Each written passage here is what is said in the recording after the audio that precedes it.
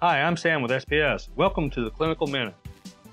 In this segment, we will cover advanced adjustments of the Nabtesco ALLUX MPK. Select the tab at the top of the screen for advanced adjustments.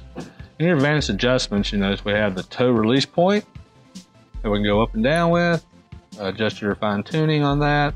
Then we have our stance flexion yield, making it easier or harder to sit down. Stance extension dampening setting, remember don't drop below 10 on that. Our swing phase adjustments, swing flexion, controlling heel rise, up or down. Then we have our terminal impact setting, swing extension.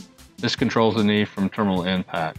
And our safety lock feature with uh, the different times, uh, invalid from very slow to very quick time that it takes to initiate safety lock. Now we have our low battery situation, high resistance or free swing. Going to next will allow you to save these settings. This has been the Clinical Minute. For additional videos, visit spsco.com slash clinical minute.